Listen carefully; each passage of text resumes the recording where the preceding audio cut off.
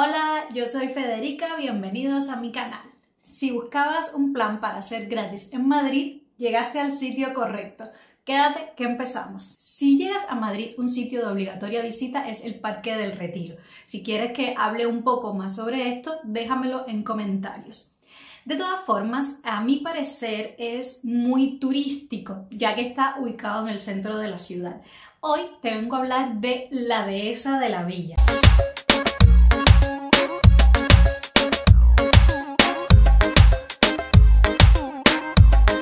Este es otro parque, pero está ubicado al noroeste del centro de la ciudad.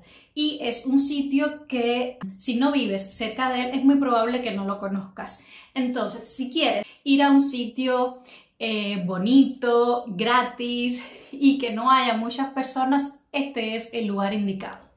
Hola, aquí Federica de la edición y me acabo de dar cuenta que no les comenté cómo llegar hasta allí. Entonces, dependiendo de dónde estés hospedado o donde estés viviendo, pues eh, por supuesto hay determinados buses que llegan hasta allí, pero si utilizas el metro puedes usar la línea número 7, la línea naranja, y deberás bajarte en la estación de metro Francos Rodríguez. A partir de allí pues caminarás unos minutos y ya estarás en la dehesa de la villa. ¡Chao! La dehesa de la villa es muy natural es muy grande, es muy extenso y ah, tiene diferentes tipos de árboles.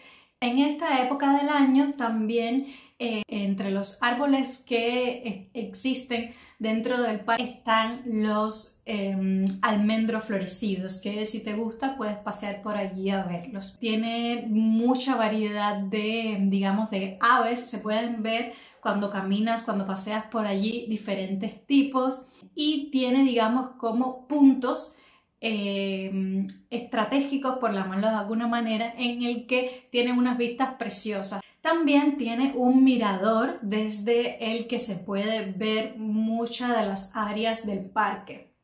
Este parque tiene eh, diferentes áreas especializadas, vamos a llamarle así. Por ejemplo, hay diferentes zonas infantiles en los que puedes ir con tu pequeño a disfrutar de un rato. También muchas personas van a hacer actividad física, vas a ver muchas personas eh, corriendo, caminando.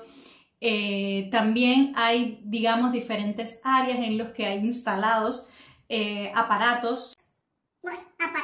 que puedes utilizar para hacer ejercicio, para hacer abdominales, planchas. Este tipo de actividades yo creo que es más aconsejable para las personas que vivan cerca de, del sitio, ¿no? de la dehesa de la villa.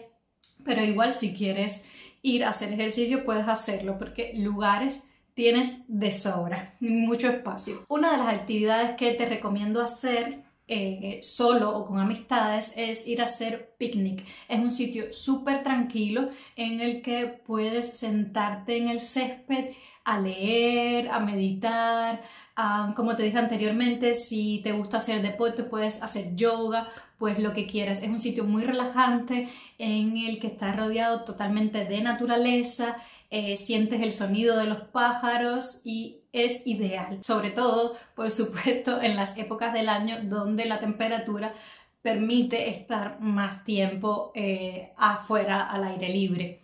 Eh, te aconsejo igualmente si haces picnic llevar tu bolsa donde eches todos los restos de basura y todo lo que lleves.